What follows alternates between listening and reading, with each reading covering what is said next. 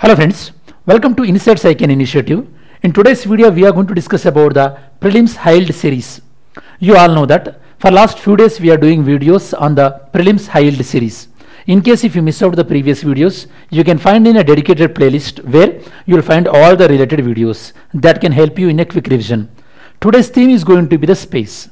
Yesterday we discussed about the report and day before yesterday we discussed about the international summits and before that we discussed about international organizations. So without any further delay, as a part of the space, in today's video we are going to discuss about following six topics. It starts with the International Space Station and ends with the INSAT 3DS. The reason for picking these topics are these are in news in between the January to I mean this 2024 January to March. That is the reason I picked these topics. In the subsequent videos, I'll pick the topics related to space which came in the last year so that so you can easily revise these particular issues regarding the international space station actually international space station it is in news for various reasons even you all know that Russia announced officially that they are exiting from the International Space Station. Regarding this, we will try to do quick revision regarding the International Space Station. You all know that International Space Station is like a laboratory present in the space. And this lab, it was not launched as a whole in a single go. Okay, it was launched at a different point of times. Different different components launched at different point of times, and they were assembled in the space. Now we will see the information regarding the International Space Station. It was first launched in 1988, 20th November from Kazakhstan. The mission life, it can extend, it can operate it till 2030. And the orbit, it, it revolves around the LEO, low Earth orbit, at around 400 kilometers height of the surface of the Earth. And for every 90 to 93 meters, it will finish one revolution around the Earth. So that is its revolution speed. The size is almost all 450 tons agencies involved in the International Space Station, they are USA, that means NASA, European Space Agency, JAXA from Japan, CSA from Canada, Roscosmos from Russia. That means ISRO is not involved in the this International Space Station. Next, this particular International Space Station significance is mainly to conduct experiments in the space related to microgravity and other things.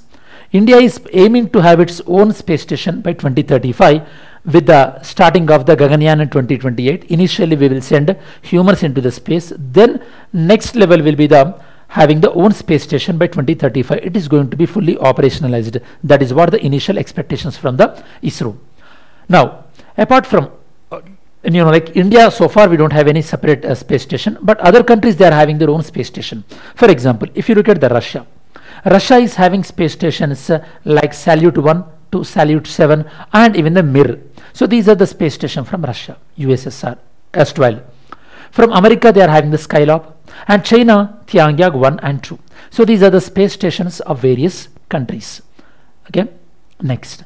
So this International Space Station where it uh, uh, locates and this altitude everything I explained to you and the key partners of the ISS also I explained.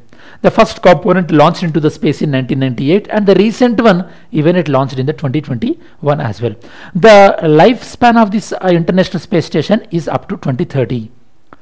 other space station from Russia we already discussed about from China. China initially launched the test space labs with the name of Tiangong 1, Tiangong 2. Now in 2021 China launched the full scale space station named as Tiangong space station. It started its operations fully by 2022. USA Skylab we already discussed and America is also planning to send human onto the surface of the moon. Okay. So after the Apollo uh, missions, that is going to be the Artemis missions. Through Artemis missions, they not only would like to send humans onto the moon surface, even they would like to uh, establish a base camp on the surface of the moon as well. India point of view, India is planning the Bharati Antariksha mission, permanent space station. It is going to be fully operational by 2035. First component will be sent by 2028. India is following the three strategy regarding the space that is initially sending the robotic spacecraft, then human spaceflight program and permanent national space station. So this is the three stage strategy. Next topic number two that is the PSLV C58 XPoSat mission. You know the speciality of the XPoSat uh, is it is India's first dedicated uh, satellite to observe the X-rays. So what kind of information we will get by observing the X-rays that is also you have to understand okay. By observing the X-rays we can understand some of the things which happens in the space you know like um, uh, various uh, various emissions coming from the space and uh, certain developments in the stars which are present out of the Milky Way galaxy those kind of information we can know. Actually this is the world's second dedicated X-ray uh, sa studying satellite. Okay, the first one, what is the first one? We will see. And here one more specialty is PSLV C58. It not only launched the XPoSat mission in a particular orbit. After that, it descended into another height, and there it launched some more experimental satellites also. That means you can call it as this is the two orbital flights. Generally, our space flight will be the only single orbital flights. So with this, we can uh, achieve more efficiency in our space flights. ISRO successfully launched X-ray polarimeter satellite that is XPoSat by using the satellite that is the PSLV C58. This is PSLV C58 60th flight.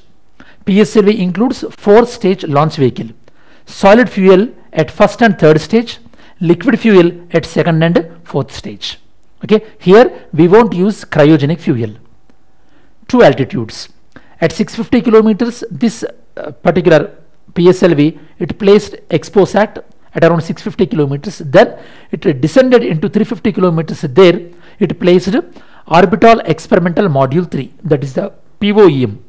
This, uh, this orbital experimental module, it includes payloads such as Rudra, ARCA 200, Green Impulse Transmitter, Dust Experiment. These are various payloads. Okay, these payloads are going to be there in space for very short term. But what is the main objective? The main objective of these payloads is to carry in some experiments. Okay, as long as they can be stay there. Okay, so that some kind of uh, uh, short-term experiments also can be performed. That is the main objective of this. This is the first dedicated satellite to study the X-rays and this is the world's second one. The world's first one was NASA's Imaging X-ray Polarimetry Explorer that is IXPE. This was the world's first. And now the topic number three. This is a very interesting one. This is regarding the radio waves telescope. Recently, Union Cabinet approved certain amount of the funding to this radio telescope. Okay, this is an international program.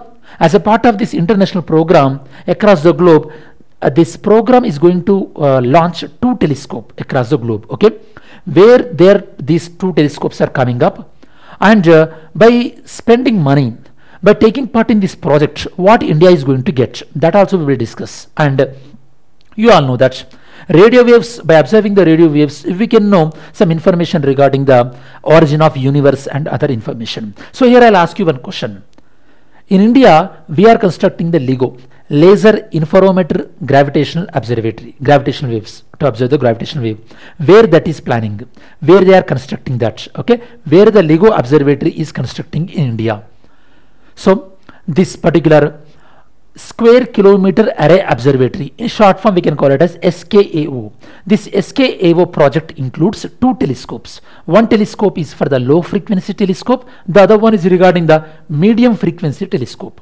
This low frequency telescope coming up in Australia and the medium one is coming up in the South Africa. This you have to understand. And the low frequency range, this telescope can catch the radio waves in the wavelength of 50 mHz to the 350 mHz. That's a frequency, range. Whereas the mid frequency range, this telescope can catch between the range of 350 to 15.4 gigahertz. So this is the range.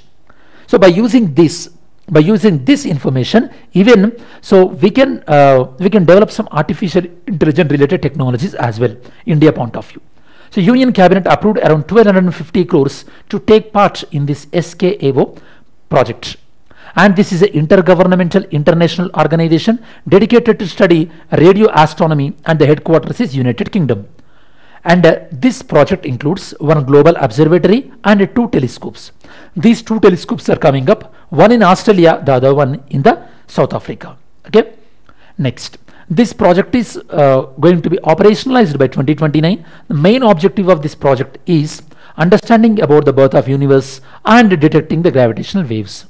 Gravitational waves are very minute and uh, it requires a lot of skills and technology to capture these gravitational waves India joined SKAO project in 2012 as an associate member in 2022. An organization from India, that is the National Center for Radio Astronomy from Pune, they signed a deal with SKAO. This is the thing. So now topic number four. So this is about the reusable launching vehicle. You might have thought that sometimes when we launch the PSLV and GSLV, they are launching satellite and they are simply falling into the ocean and we are unable to use them again. That means they are simply one-time use, ready-made. Because of that, just for single launch, we are spending a lot of money in making these launching vehicles. How about using a launching vehicle multiple number of times? That would be a great idea, isn't it? A launching vehicle which is placing satellite into the space and falling into the ocean and we able to collect them with minor repairs, we, we using them again, that idea would be very great. Our ISRO is experimenting regarding this. That is a reusable launching vehicle. This is not new at the global level.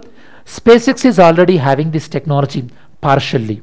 Okay. Now let's see the reusable launching vehicle recent. Uh, actually, this is the second test. The first test already we done previously few years back. This is the technology demonstration program. That means the earlier stage. So here, this is how things work here.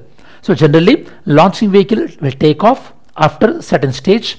Particular satellite, they will be placed into the, you know, like designated orbits. Then the launching vehicle uh, subjected to free fall it will be corrected again it will be used so the name itself is the self indicating reusable launching vehicle okay that is about the RLV the second version. Already the first one we tested in 2023 RLV LEX1 this is the RLV LEX2 so it will be very helpful to you. This program name is RLV TD program. Okay? And this is about space plane which can travel to the low Earth orbit. Here you have to understand low Earth orbit. Just now I mentioned that all the International Space Station generally they placed in the low Earth orbit to deliver the payloads and return to the earth for reuse again. Here this is the keyword reusing is a very very important.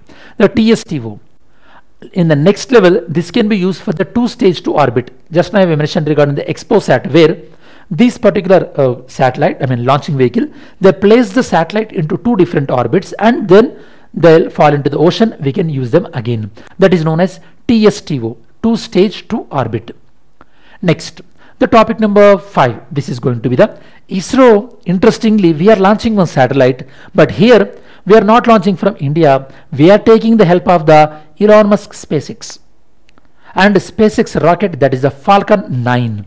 With the help of Falcon 9 rockets, we are launching a satellite that is the GSAT 20. Here don't get confused. Already we launched the GSAT 24. Okay, that is related to the DTH communication and GSAT 20 is also related to the GSAT communication. I mean this DTH communication and uh, internet broadband and all these things. GSAT 20 original, I mean 24 we launched originally that was ISRO and Tata Play joint, I mean combinedly. So this one is completely ISRO launching. So from ISRO, which organization is taking care about the taking care about this launch? New Space India Limited. You may get doubts. What is this New Space India Limited? It is a commercial wing of the ISRO. Uh, it, it acts as a bridge between the ISRO and the Indian industries. If Indian industries would like to leverage any technology or uh, if Indian industries would like to use uh, any application of ISRO, they have to consult to the New Space India Limited. So here New Space India Limited is taking care about this communication satellite. This is renamed as GSAT N2. It gives this Ka band uh, satellite, I mean signals. It is fully owned, operated and uh, funded by NSIL. So you have to know what is this NSC, NSIL is all about.